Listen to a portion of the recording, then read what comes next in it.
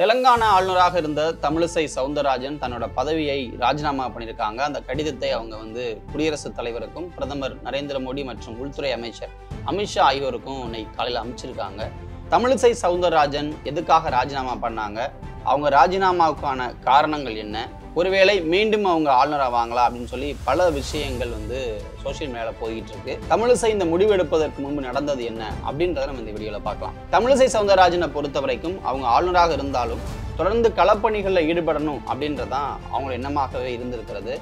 ஒவ்வொரு முறையும் அரசியல் பேசும் பொழுது அவங்ககிட்ட இந்த கேள்வியை முன்வைக்கும் பொழுதெல்லாம் ஆளுநர் அரசியல் செய்யக்கூடாதா? நாங்கள் வந்து அரசியல் பேசக்கூடாதா? அப்படின்னு சொல்கிறதாக இருக்கட்டும். எனக்கு வந்து எலெக்ஷனில் போட்டியிட்டு ஜெயிக்கிறது தான் பிடிக்கும். நான் களத்தில் வேலை செய்கிற ஒரு நபர் அப்படிலாம் அடிக்கடி சொல்லுவாங்க. கடந்த பிப்ரவரி மாதம் வந்து என்னாச்சு அப்படின்னா தமிழிசை சவுந்தரராஜன் திடீர்னு அமித்ஷாவை போய் சந்திக்கிறாங்க.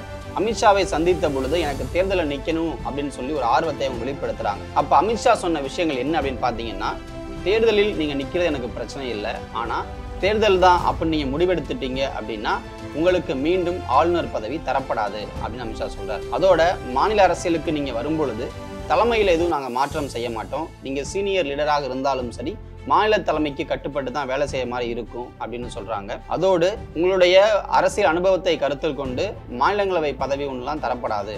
ஸோ இப்படி கட்சியில் அடுத்தடுத்து பதவிகள் தோற்றுவிட்டாலும் கிடைக்கும் நீங்கள் நினைச்சீங்கன்னா அதுக்கான வாய்ப்பு இருக்காது. இதெல்லாம் ஓகே அப்படின்னா நீங்கள் எலெக்ஷனில் போய் நில்லுங்க அப்படின்னு சொல்லி ஒரு த்ரீ கண்டிஷன்ஸ் அவர் சொல்கிறார் தமிழிசையும் அந்த கண்டிஷன்ஸுக்கு ஓகே அப்படின்னு சொன்னதற்கு பிறகு தான் அவங்க ராஜினாமா அப்படின்ற முடிவில் அவங்க உறுதியாக இருந்திருக்காங்க. இதற்கிடையில தான் பிரதமர் நரேந்திர மோடி நேற்றைய தினம் இரவு தெலுங்கானா வந்திருக்கார். நேற்று அவர் ஹைதராபாத் வந்து ராஜ்பவனில் தங்கியிருக்கிறாரு. அப்பொழுது தமிழிசை சவுந்தரராஜன் பிரதமர் மோடியை நேரடியாக சந்தித்து ஒரு ஒரு மணி நேரம் தன்னுடைய இந்த ராஜினாமா விவகாரங்கள் குறித்து அவர்கிட்ட பேசியிருக்காங்க. அந்த விஷயத்துல தான் பிரதமர் நரேந்திர மோடி உங்களை போன்றவர்கள் களத்துக்கு போகும்பொழுது தான் தொண்டர்களுக்கு உத்வேகமாக இருக்கும். நீங்க இவ்வளவு ஸ்ட்ராங்கா அந்த விஷயத்துல இருக்கும் பொழுது நீங்க ரிசைன் பண்ண எனக்கு ஒன்றும் பிரச்சனை இல்லை. களத்துக்கு போங்க தொண்டர்களை உற்சாகப்படுத்துங்க மற்ற வேட்பாளர்களுக்கும் சேர்த்து நீங்க ஒர்க் பண்ணுங்க அப்படின்னு சொல்லி தன்னுடைய விருப்பத்தையும் சொல்லியிருக்காரு. அதனுடைய அடிப்படையில தான் தமிழிசை சவுந்தரராஜன் இன்றைய தினம் தன்னுடைய ராஜினாமா கடிதத்தை அனுப்பிச்சிருக்காங்க. சரி தமிழிசை சவுந்தரராஜன் மோடியோடு ஆலோசனை செய்ததற்கு பிறகு இந்த விஷயத்தை பண்ணியிருக்காங்க. ஆனா இப்ப தமிழிசை என்ன பண்ண போறாங்க அப்படின்றதும் கேள்வியாக இருக்கு. கடந்த இரண்டாயிரத்தி பத்தொன்பது தேர்தலில் தமிழிசை சவுந்தரராஜன் தூத்துக்குடி தொகுதியில கனிமொழி கருணாநிதி எதிர்த்து போட்டியிட்டாங்க. அங்கே அவங்க கனிமொழி கருணாநிதியிடம் தோல்வியடைஞ்சாங்க.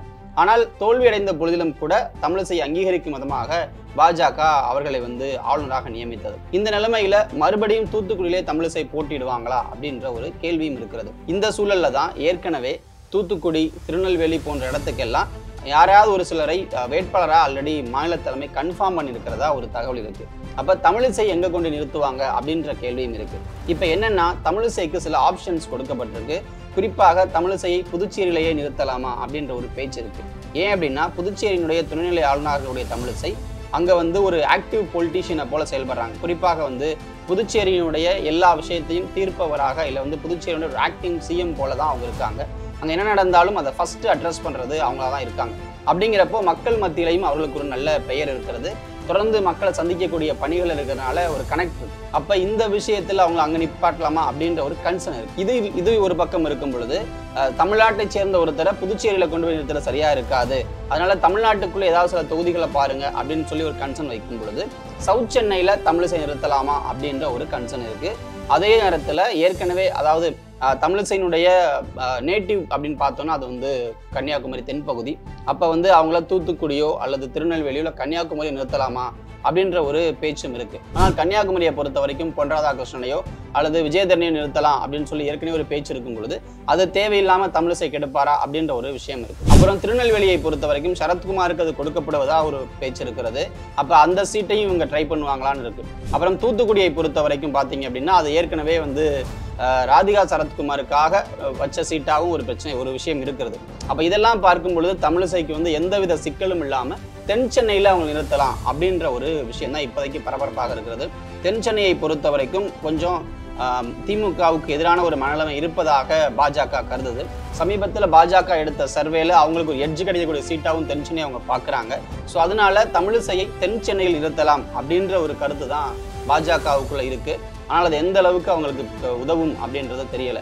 இருந்த பொழுதும் தமிழிசை தற்பொழுது தேர்தல் அரசியலுக்கு திரும்பிட்டாங்க. அவங்களுடைய விருப்பப்படி அவங்க களப்பணிக்கு மறுபடியும் போக போகிறாங்க ஆனாலும் இந்த தேர்தலில் அவர்கள் தோற்றால் அவங்களுக்கு மறுபடியும் எந்த விதமான பதவிகளும் கொடுக்கப்படாது அவங்க மீண்டும் களத்திலே தான் ஒர்க் பண்ணணும். அதுக்கான அங்கீகாரம் கிடைக்கும் வரைக்கும் ஒர்க் பண்ணணும். அப்படின்றது தான் பாஜகவினுடைய முக்கிய டிமாண்டாக இருக்குது